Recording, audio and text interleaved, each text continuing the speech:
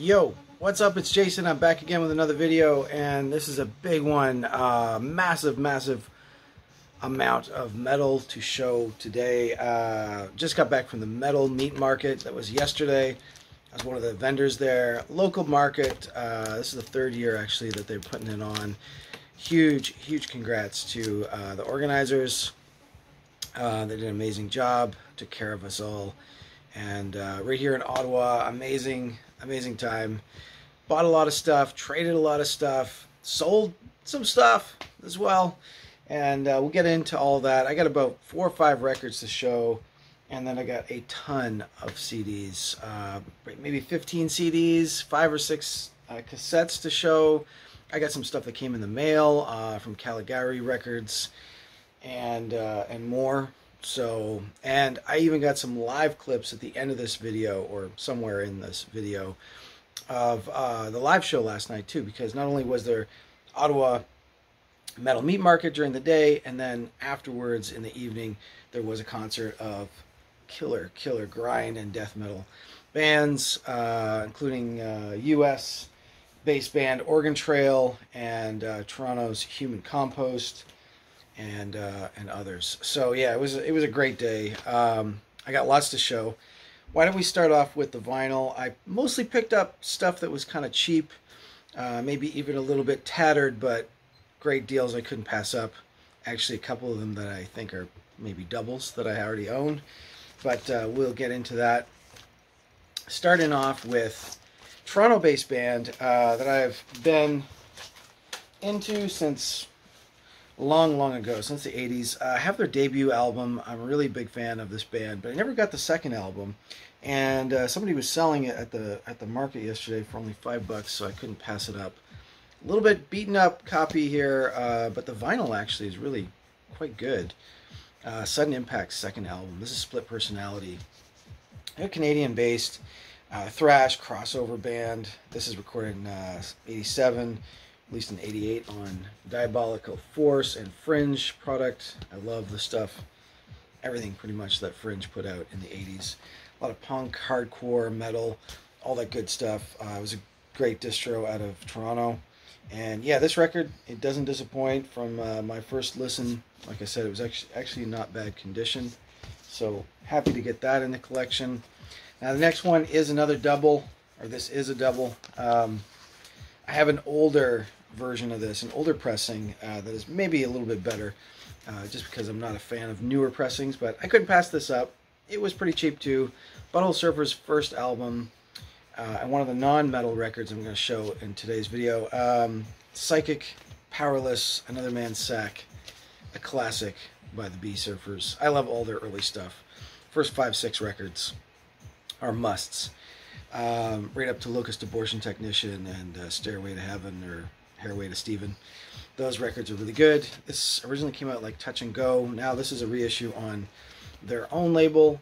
Um, this one came out, I think, sometime in the 2000s. I'm told that the new, the latest reissues of these are on Matador and they're slightly censored, removed some tracks, etc., and probably remastered and all that kind of business going on. But um, this was kind of fun just to get it cheap copy uh, second copy. I'm kind of in between two places these days, so some of the doubles might go to the other other locations. Snagged a copy of this, dirt cheap as well. A classic uh, record that I grew up on back when I was like a toddler, feels like. But yeah, no, pre, uh, I guess in elementary school, listening to Quiet Riot and Twisted Sister and then Motorhead and Motley Crue and all those all those bands, all those hair bands, etc. This is a great classic album, Metal Health. Got this for only five bucks, so couldn't resist. This is post Randy Rhoads leaving over to uh, to Ozzy's uh, band, but Quiet Riot's always fun. Um, and I got some vinyl that came in the mail, but I'm gonna talk about that at the end or after I get through the metal meat market stuff and some merch that I bought at the show too. So um, why don't we pause here and show you a couple clips of the actual uh, market.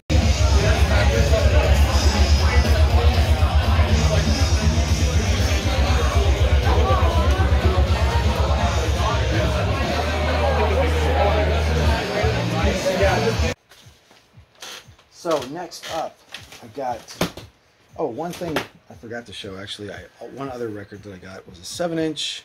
Did a trade for this one. This is a Cold Cave out of LA.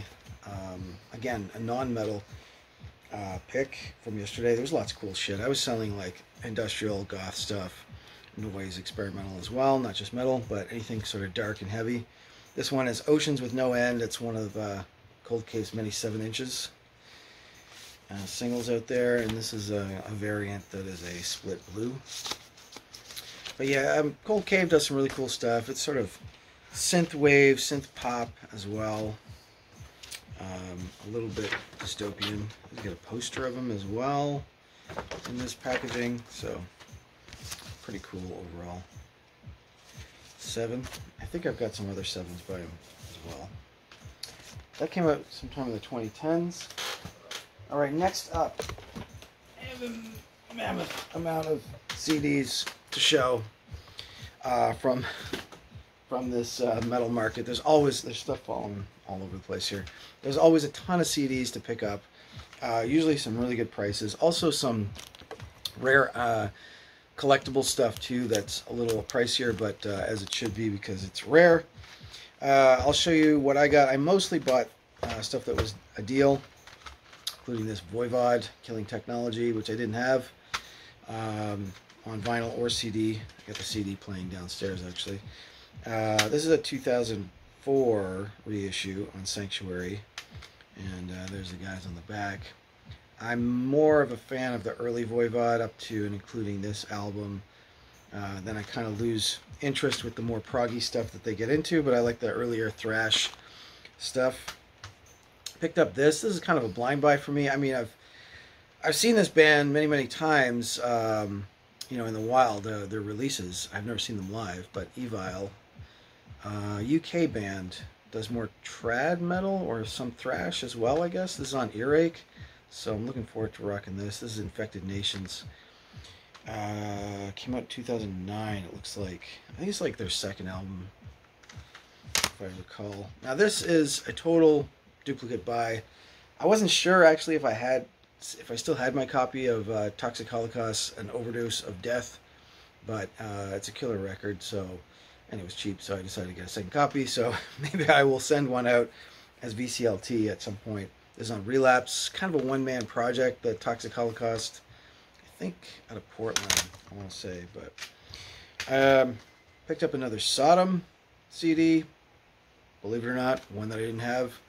Uh, I mean, these guys, the catalog is is pretty massive with these guys. Lots of like reissues and EPs and live recordings. This is a double disc version of this album, which is called In War and Pieces. Came out 2010 on Steamhammer.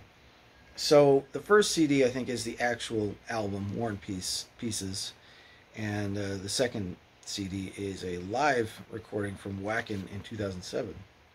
So Pretty sweet overall. Definitely a Sodom fan. Love their stuff. Saw this. Uh, got this artillery CD. This is killer stuff here by Inheritance. Second or third album by these guys. I didn't have this reissue. Uh, nice one uh, done by Roadrunner Records and uh, Metal Mind Productions. Yeah, numbered too. I guess there's a limited of 2,000 copies of this. This is number 1038 of artillery. Picked up this, uh, Clash's second album. Been getting much more into this record in uh, recent times. I got it on vinyl. And uh, first time I heard it, actually, I wasn't a huge fan. Uh, but it's kind of grown on me a lot. This is a 1999, looks like, uh, reissue of Give 'em Enough Rope. Good album, lots of solid tracks on there, so, and that was cheap, as I say. Uh, next up, we got Death and Human. I had not got a copy of this till now. It's the record after Symbolic, I think.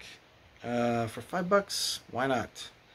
I will grab that. Uh, Century Media put this out. This is a 98 reissue, so not like super uber deluxe with like extra bonus tracks, just uh, just the album. Just cool. I like that. Um, this was kind of a blind buy. Uh, got this from my buddy Isaac. He had a lot of stuff uh, for sale. I got a couple things from him. This one I think we I think we did a tape trade for this. This is Acheron. Um, I think they're a U.S. band, but they're they're really uh, heavy, blackened death metal, uh, occultish, I guess. Uh, this was on Turbo Music and multiple other labels. This is an older pressing, actually, of uh, the CD. So, whoa, looking forward to giving this a spin. Acheron, first time I heard of them. Also got a Municipal Waste CD, because why not? Uh, Hazardous Mutation, second or third album by these guys. Uh, 2005 release on Earache Records. Municipal Waste, good crossover thrash. Uh, then we got this interesting boot. Interesting boot split. This is Mayhem and Darkthrone, The true legends in black because you want to make sure they're the true ones. Um, yeah, lots of cool tracks on here. Three by Darkthrone and like eight or something from Mayhem on this split. Like I said, it's kind of a boot. Uh, I think it's actually live recordings, perhaps demos, live recordings, something like that, on a on a boot label just called Anti Mosh Music. So there you go. And uh, last but not least of this pile, anyway, Hideous Divinity, still sealed copy um, Hype Sticker says Death Metal Onslaught, Relentless, delivered with jaw dropping technical finesse. I think I had this on vinyl, or I, maybe I still do. I a vinyl copy of this, but uh, CD that was pretty cheap. Came out 2019 on Century Media. I believe these guys are European. I think they're Denmark, maybe. Um, death metal. All right. That was a bunch of CDs. Then we went to the show. Got some more CDs at the show. Um, a couple of things I got. Well, one was the opening act, which unfortunately I, I missed their set this time, but they're uh, a band to not be missed, really, because uh, put on one hell of a performance. I got HPV's CD. This is totally sick. Uh, Ensuring Our Place in Hell. Um, Self release demo, probably recorded actually. Um, I think recorded by Topon. Yeah. Um, there's the, the boys right there doing their thing. So yeah, HPV, Killer Grindcore, really fun stuff. Local band, and then uh, the band from out of town uh, got one of their CDs. This is uh, Organ Trail. I guess this is their debut, and it looks kind of like. Uh, just open this thing up. Looks kind of like uh, self-release demo style, professional demo. Um, not picked up yet by the label. Yeah, here. These guys were killer. Um, feel like they were a four-piece. This this says a, a trio on this, but I feel like they were a four-piece. I don't know. Guess I'll try the check out the video montage. But uh, the vocals were really uh, pretty unique. A really wide range of, of vocal range in there. US based and Organ Trail Appetite for Dissection killer CD so I will pause the video now and show you guys some live clips come back I got some tapes to show and some more vinyl that came in the mail a huge metal rundown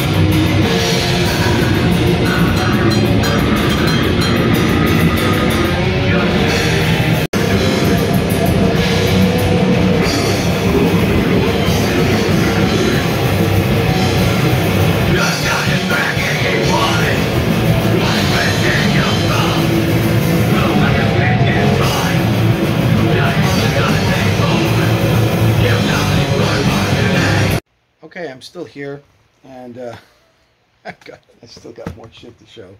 Man, where do I go to next? All right, how about another CD? This came in the mail. Uh, I haven't rocked this yet. Just just got this. It's super fresh out the box. I think it just released this month, maybe. It's the latest one by Full of Hell.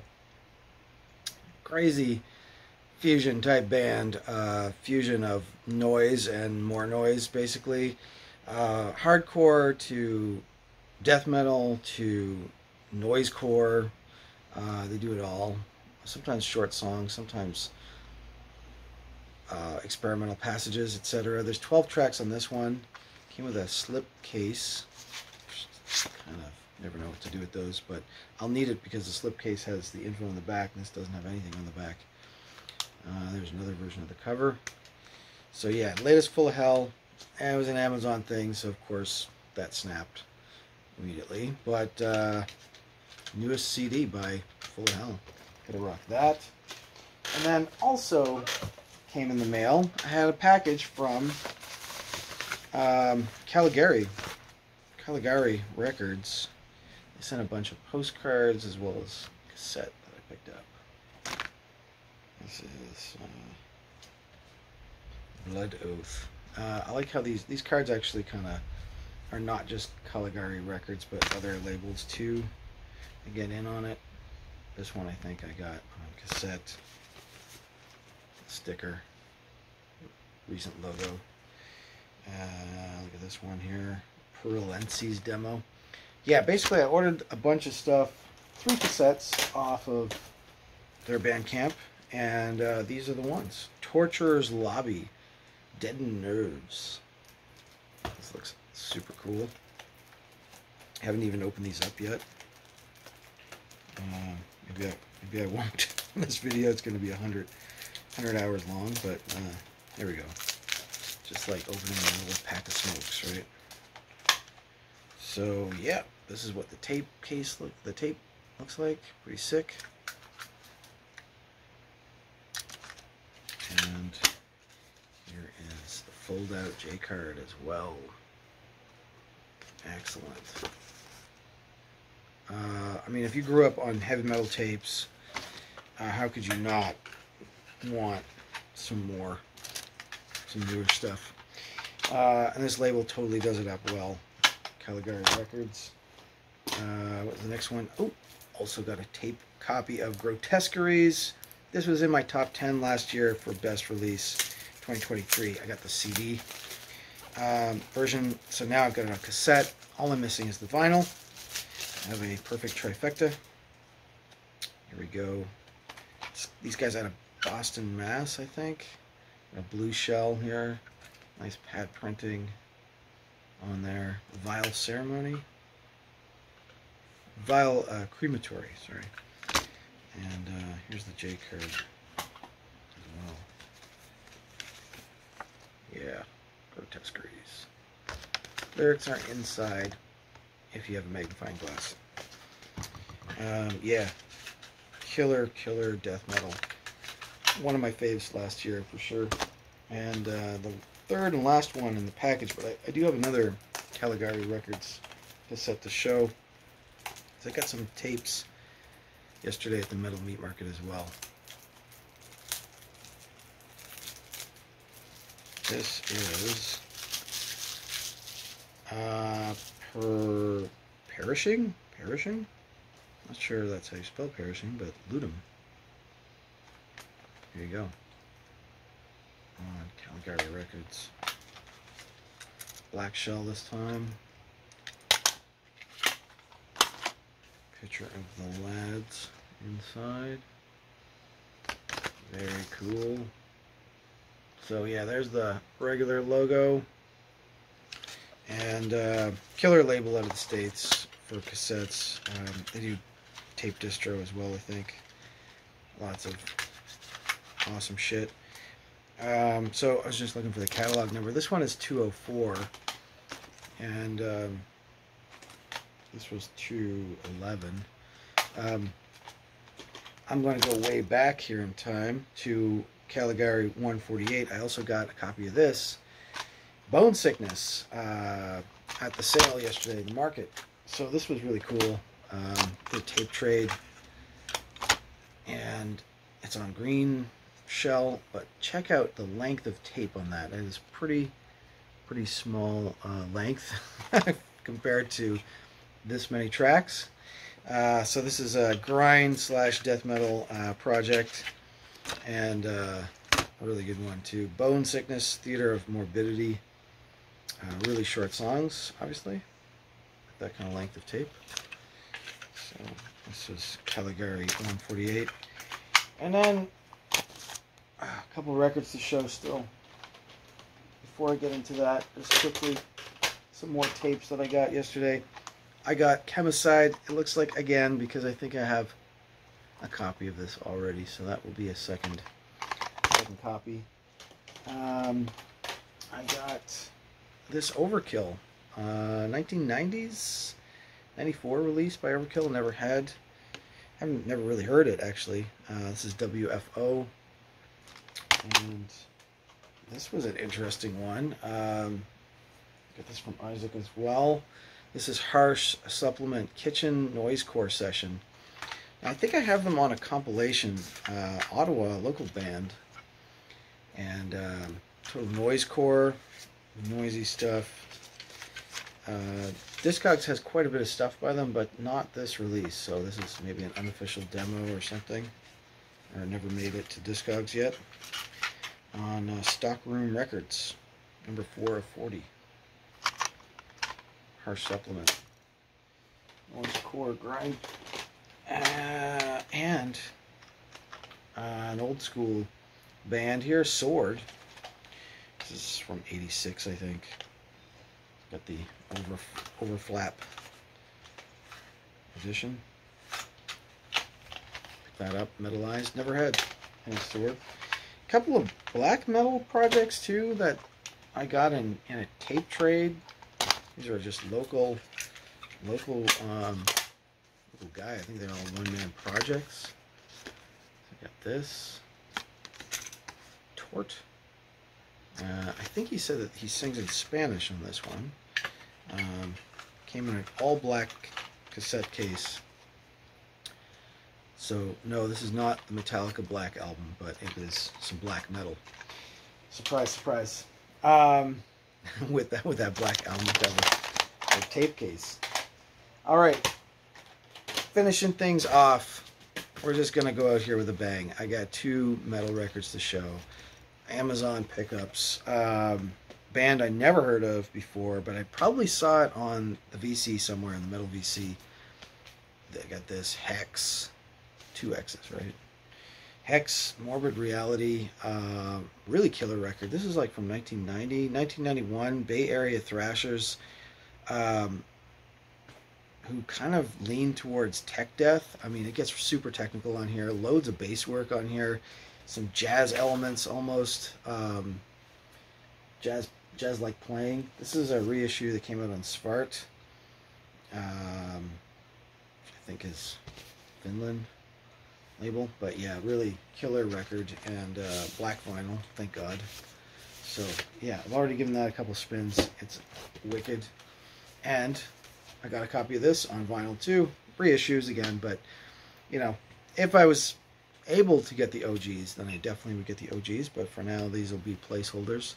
I actually have the reissue CD of this already, and uh, early death metal, kind of kind of crust, kind of thrash, into uh, grind and death. Uh, Prophecy of Doom, really cool record as well. This is a Peaceville thing, so not a lot inside. It's just it's got this. It's got some text and some lyrics. So yeah, that is my massive, massive metal meltdown. Uh, no, a huge pile of metal to go through and listen to. Uh, I'm just gonna work my way through it all. It was a killer uh, market yesterday. Uh, a lot of fun, a lot of good trades, and uh, some good pickups as well. One programming note: I'm hoping to do a live stream soon, perhaps tonight, with Wilson, who is also at the metal, metal uh, meat market and uh, we'll find out what kind of stuff he picked up as well, his thoughts on the day, and um, I'll see you guys in the next one.